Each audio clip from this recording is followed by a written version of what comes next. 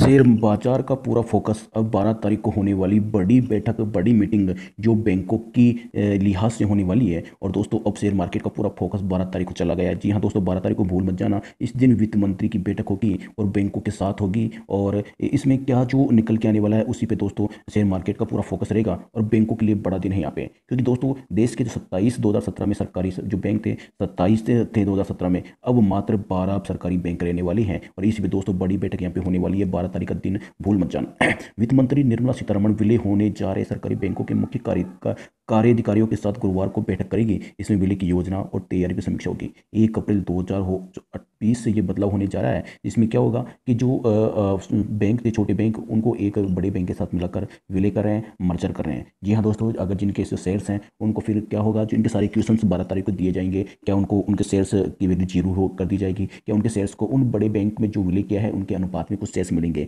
ये खबरें बारह तारीख को यहाँ पे पूरी दी गई है कि बारह तारीख को इनके जवाब दिए जाएँगे, ठीक है? तो यहाँ पे आपको बता दें जो मेन मुद्दा क्या क्या है यहाँ पे? एक अप्रैल को पंजाब नेशनल बैंक और ओरिएंटल बैंक ऑफ़ कॉमर्स में यूनाइटेड बैंक ऑफ़ इंडिया को मिलाकर देश का सबसे बड़ा दूसरा बैंक बना दिया जाएगा। किसको बना दिया जाएगा? पीएनबी को। इसमें विलय होंगे ओरिएंटल बैंक ऑफ़ कॉमर्स और यूनाइटेड बैंक। उसके बाद दोस्तों केंद्रा बैंक में सिंडिकेट बैंक का अधिग्रहण करेगा, यानी केंद्रा बैंक में सिंडिकेट बैंक को मिला दिया जाएगा। उसके पास यूनियन बैंक ऑफ़ इंडिया में आंध्रा बैंक और कॉर्पोरेट बैंक को मिला दिया जाएगा और इंडियन बैंक में इलाहाबाद बैंक को भी मिला दिया जाएगा। यानी कि कुल मिला अगर बात करें, अब जो बैंक रहने वाले हैं, वो मात्र बारह सरकारी बैंक रहने वाले हैं। और जो 2017 में जो बैंक थे, वो लगभग लगभग सत्ताईस सरकारी बैंक थे। लेकिन अब जो फ़िलहाल जो बैंकों की संख्या रहने वाली है, ये देख सकते हैं, दो हज़ार सत्रह में सत्ताईस की तुलना में अब बारह रह जाएगी। बारह बैंक बारह रह जाएगी। दस बैंकों के बड़े विलय के बाद बारह में सरकारी बैंकों की संख्या दो हज़ार सत्रह से जो सत्ताईस थी वह घटकर मात्र बारह रह जाएगी। अब आपको बता दें, जो इसमें क्या क्या क्वेश्चन उठेंगे, आपको बता दें।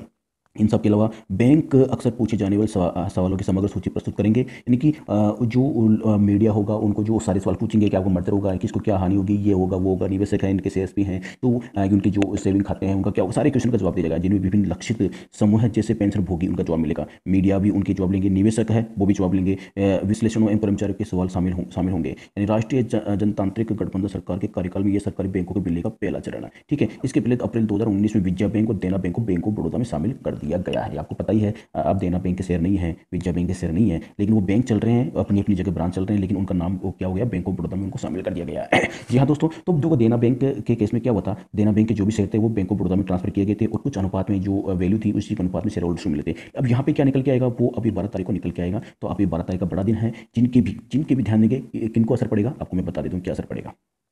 यानी किन शेयर शेयर्स को असर पड़ेगा? जिनके पीएनबी में शेयर्स हैं, उनको तो कोई दिक्कत नहीं है, वो पीएनबी का पीएनबी में रहेगा, ठीक है? लेकिन जिनका शेयर्स अगर ओरे ओरिएंटल बैंक ऑफ़ कॉमर्स का शेयर किसी ने खरीद रखा है यूनाइटेड बैंक ऑफ़ इंडिया का शेयर खरीद रखा है, जी हाँ उनके शेयर इन पीएनबी में ट्रांसफ़र हो भी सकते हैं या उनकी वैल्यू ज़ीरो कर सकते हैं। ये कुछ नहीं है, बारह तारीख को इनका जवाब मिलेगा, ठीक है? कि वो शेयर में जाएँगे या उनको सेल आउट कर दिया जाएगा, जो जो वैल्यू उन पर उनको पैसा दे दिया जाएगा मतलब मैटर क्लोज करके। या कुछ भी हो सकता है या इनमें ट्रांसफ़र कर सकते हैं। पहले तो ट्रांसफ़र किया था, अब देखो कुछ भी हो सकता है। दूसरी बात केंद्र बैंक वाले को कोई दिक्कत नहीं है। केंद्र जो सिंडिकेट बैंक में जो शेयर है सिंडिकेट शेयर होल्डर्स हैं, उनका ट्रांसफ़र केंद्र बैंक में कर सकते हैं या नहीं करेंगे, वो बारह तारीख को जवाब मिलेगा। ठीक है? यानी कि किन किन को यहाँ पे जो अब सचेत रहना चाहिए, वो रहना चाहिए। ओरिएंटल बैंक ऑफ़ कॉमर्स के शेयर होल्डर्स को यूनाइटेड बैंक ऑफ़ इंडिया के शेयर होल्डर्स को सिंडिकेट बैंक के शेयर होल्डर्स को, और आंध्रा बैंक कॉर्पोरेशन बैंक के शेयर होल्डर्स को, और इलाहाबाद बैंक के शेयर होल्डर्स को। यानी अब ये शेयर आपको एक अप्रैल के बाद में शायद दिखाई ना दे। क्योंकि इनको इनके साथ विलय कर देंगे। पहले देना बैंक का शेयर दिखाई देता था, लेकिन अब विलय करने के बाद नहीं दिखाई दे रहा है, क्योंकि वो बैंक ऑफ़ बड़ौदा में शिफ्ट हो चुका है। तो ये आपको दोस्तों इस जानकारी थी कि बारह तारीख को बड़ा दिन है और बैंकों के लिहाज से बड़ा दिन है, और इस पर मार्केट का पूरा फोकस रहेगा। ध्यान देंगे इस पर मार्केट का पूरा फोकस रहेगा कि शेयर होल्डर्स के लिहाज से अगर ये कुछ, ये जो बैठक में कुछ निकल के आता है तो ये बड़ा यानी कि एक मार्केट के लिए राहत की बात हो सकती है। या कुछ निराशा भी देखो, देखने को मिले, बारह तारीख को पता चलेगा, लेकिन आपको मैं बता दिया, बारह तारीख को भूल मत जाना। बारह तारीख को बैंकों की बड़ी बैठक है, वो कि वित्त मंत्री निर्मला सीतारमण के साथ। मिलता हूँ दोस्तों नेक्स्ट वीडियो में। इसी को लेटेस्ट धमाकेदार अपडेट लेकर। Bye bye. जय हिंद, जय भारत।